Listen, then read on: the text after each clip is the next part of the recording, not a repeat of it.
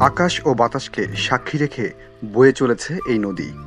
ঘোলা জলে যার পলির আশীর্বাদ আর কুলে কুলে সুন্দরের হাতছানি। শুধু সুন্দর নয়, নদীকে প্রকৃতি পূর্ণ করেছে নানা রকমের মাছ আর জলজ প্রাণী, যার কোনো কোনোটি মানুষের খাদ্যও বটে।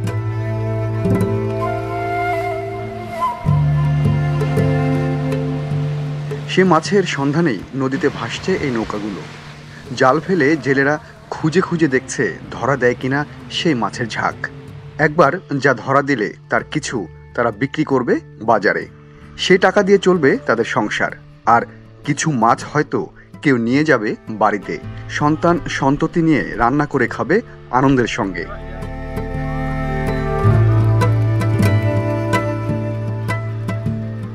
এই জেলের জালে অনেক প্রজাতির মাছ উঠেছে। আনন্দে তাই চকচক করছে তার চোখ। বেছে বেছে অপেক্ষাকৃত বড় মাছগুলো সে আলাদা করে বাজারে বিক্রির জন্য আর ছোট মাছগুলো রাখে বাসায় নেবে বলে।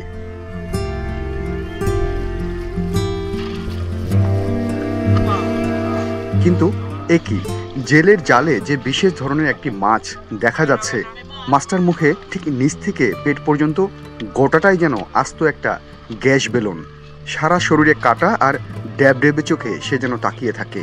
কি মাছ ওগুলো?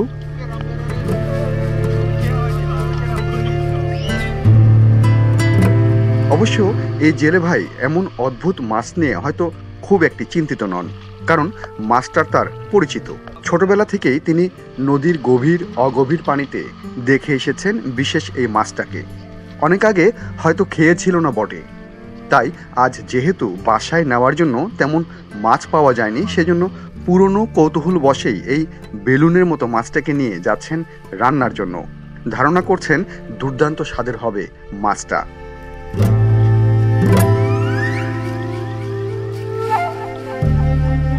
কিন্তু কে এই জেলেকে বুঝাবে? স্বাদের মাছ ভেবে তিনি যা বাসায় নিয়ে যাচ্ছেন তা তার নিজের ও পরিবারের জন্য হয়ে উঠতে পারে মৃত্যুর টিকিট। কিন্তু কেন? মাছটাকে দেখতে তো সুন্দর ও নিরীহই লাগছে। তাহলে সমস্যা কোথায়?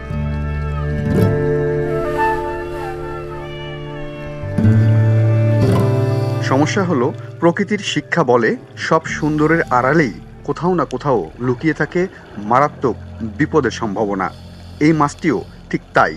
এ হলো নদী ও সাগর তীরবর্তী গ্রাম বাংলায় অতি পরিচিত পটকা মাছ।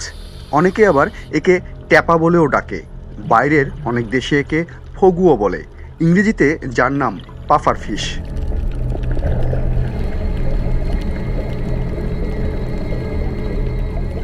এই মাছ নিয়ে এত কথা বলার কারণ হচ্ছে প্রায় এটি খেয়ে মানুষের মৃত্যুর খবর পত্রিকাতে আসে। গবেষণা বলে এই পটকা মাছ এতই বিষাক্ত যে যার একটি বিষে অন্তত তিরিশ জন মানুষ মারা যেতে পারে। লোনা পানি থেকে শুরু করে মিঠা পানি কিংবা নদীর মোহনায় এদের বিচরণ।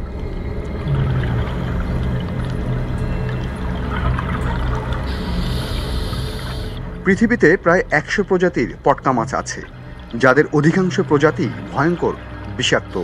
যখন এরা দেহ ফোলায়, তখন ত্বক অন্ত্র ও ডিম্বাশয় থেকে টেট্রাডক্সিন নামে এক ধরনের বিষ বের হয়, যা ভয়ঙ্কর বিষাক্ত সায়ানাইডের চেয়েও বারোশো গুণ শক্তিশালী।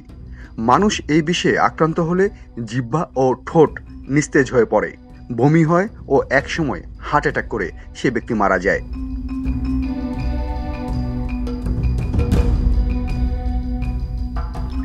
তবে অনেকে হয়তো বলবেন, তিনি পটকা মাছ খেয়েছেন, কিন্তু কই, তার তো কিছু হয়নি। বিষয়টি হলো, পটকার সব প্রজাতি যে সমান বিষাক্ত, এমন কিন্তু নয়। কিছু আছে যেগুলো হালকা থেকে মাঝারি ধরনের বিষাক্ত। এছাড়াও, এই মাছের বিষের পরিমাণ নির্ভর করে এর লিঙ্গ, ভৌগোলিক অবস্থান এবং মৌসুমের উপর। সাধারণত, ডিম পাড়ার আগে বা ডিম পাড়ার সময় এতে অপেক্ষাকৃত বেশি বিষ থাকে এবং পুরুষ থেকে মেয়ে মাছই বেশি বিষাক্ত।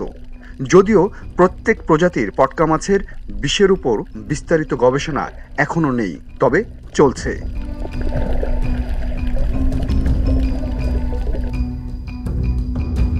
জাপানে অবশ্য পটকা মাছ বেশি দামে খাবার হিসেবে পরিচিত। তাহলে প্রশ্ন উঠতেই পারে, এই মাছ খেয়ে তারা কেন মারা যাচ্ছে না? রহস্যটা হলো, জাপানিরা বিস্তর গবেষণার মাধ্যমে তাদের পটকার কোন প্রজাতির কোন সময়ে বিষাক্ত তা কিন্তু জেনে গেছে। তবুও পটকা খেয়ে জাপান, কোরিয়া, তাইওয়ান, সিঙ্গাপুর, চীন, মেক্সিকোতেও মৃত্যুর সংখ্যা কিন্তু ঘটেই চলেছে। যদিও সে সংখ্যা এখন একেবারেই হাতে গোনা।